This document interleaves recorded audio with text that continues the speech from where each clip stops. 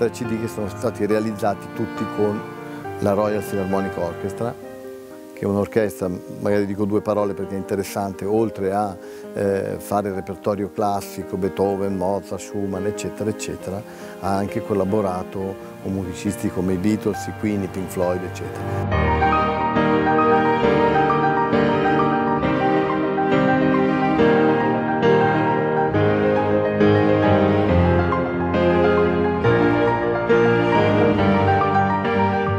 Questo cosa vuol dire? Che ne fa un'orchestra veramente aperta, aperta come concezione del suono. Io a volte dico che è un'orchestra post-elettronica, perché vibrano poco, no? allora è quasi un'orchestra che sembra una tastiera, dico tastiera perché appunto l'elettronica da un certo punto in poi ci ha abituato a una musica così proprio anche impersonale, no? Stravinsky diceva che i vibrati negli archi e nei cantanti sono delle cose, ecco diciamo, non, non uso parole, comunque non, non sono così belli, interessanti.